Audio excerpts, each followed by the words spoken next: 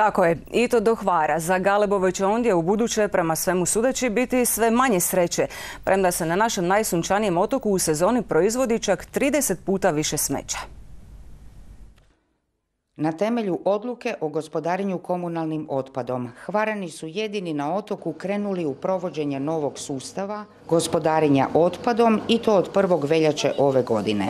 Čini se da pet mjeseci nije bilo dovoljno da ljudi promijene svoje navike.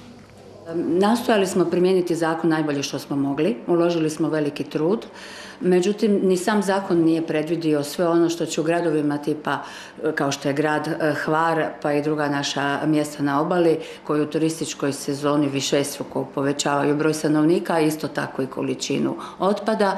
Novi sustav dobro funkcionira u rubnim dijelovima grada gdje živi većina stanovnika. Problem je nastao u staroj gradskoj jezgri u kojoj je otežan promet, a u kojoj djeluje najveći broj turističkih objekata. Osim toga, Hvar ima i nautički turizam s oko 2000 uplova dnevno, a to je veliki problem. Pa ja ne vidim, ja ne vidim ko će ga drugi riješiti. Naravno, savjest, savješću građana koji će biti svjesni da ono smeće koje bacaju sa strane, ne bacaju ga gradu, bacaju ga sami sebi. Oni stvaraju, nažalost, tu sliku. Ja se slažem i s tim da e, grad i poduzeća gradska koja bave, da isto u nekim određenim trenucima možda ne mogu sve odjedanput napraviti, ali su veliki napori tako da se radi, mogu reći 24 sata, tražim pomoć od svih naravno i nas samih jer to je, to je naše lice. Mi moramo tu dati maksimum da, da naš grad bude čist i da naš grad bude uredan.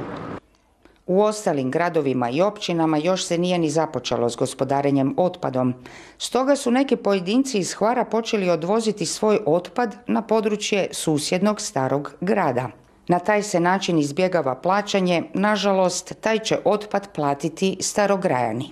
Dakle, e, možda ovim putem treba apelirati na sve građanke i građane Hvara i da oni sami svojim ponašanjem unaprijede ovaj sustav, pomognu nama da svima skupa da budemo, kako smo prvi započeli, da možda budemo i prvi sa tim pozitivnim rezultatima i kao primjer drugim lokalnim samoupravama.